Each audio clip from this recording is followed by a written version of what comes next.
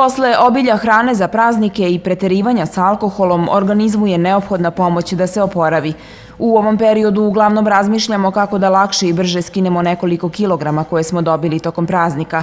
Za početak, neophodno je povećati unos vode u organizam. Dan bi, smatraju nutricionisti, trebalo započeti zdravim obrokom.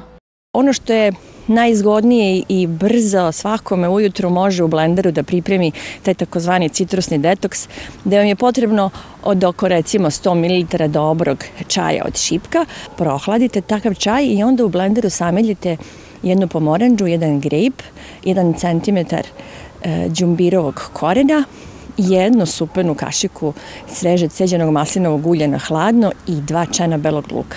Verujte, to se ništa ne primeti u tom citrusnom detoksu, ali je savršen za svaki početak dana.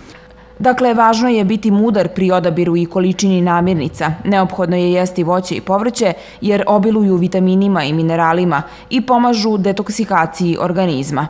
Nakon praznika često je teško vratiti se u običajenom načinu vežbanja. Znači, nakon praznika ljudi masno kreću da vežbaju, da li je to griža savesti zbog hrane koju su konzumirali i pića tokom praznika, što sa jedne strane je dobro, a s druge strane opet nije, jer imaju veliki prekid u vežbanju, nemaju kontinuitet i onda odjednom pokušavaju da idu na neke dijete i nešto što nije sasvim u redu i zdravo za organizam. Višemesečno odstupanje od pravilne ishrane zahteva odgovornije ponašanje u narednom periodu, kako bi se organizam što prevratio u formu.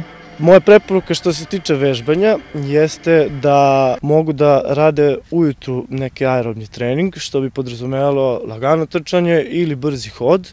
Najbolje bi bilo na prazan stomak kada je nivo insulina u krvi mali, što je odlična sredina za trošenje masti. Ako želite da se osjećate bolje i imate više energije, neophodno je da se zdravo hranite i redovno vežbate. Potrebno je da se naoružate strpljenjem i razmišljate o dobitima redovnog vežbanja. Ne bi trebalo zaboraviti da vežbanje podstiče cirkulaciju, popravlja raspoloženje i pomaže da se čovek bolje nosi sa stresom.